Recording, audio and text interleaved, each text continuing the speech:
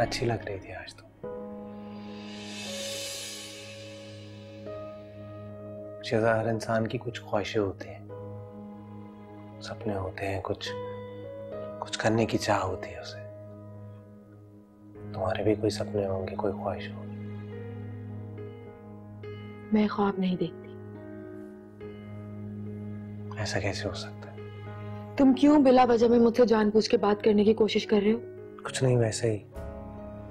तुम्हें जानना चाह रहा था समझना चाह रहा था। कोई ज़रूरत नहीं है मुझे समझने की या फिर जानने की। इस कमरे में तुम डैड की वजह से हो। मेरी ज़िंदगी में नहीं आए हो और ना ही कभी आओगे। याद रखना ये बात। याद रखूँगा। आइंदा से ख्याल रखूँगा।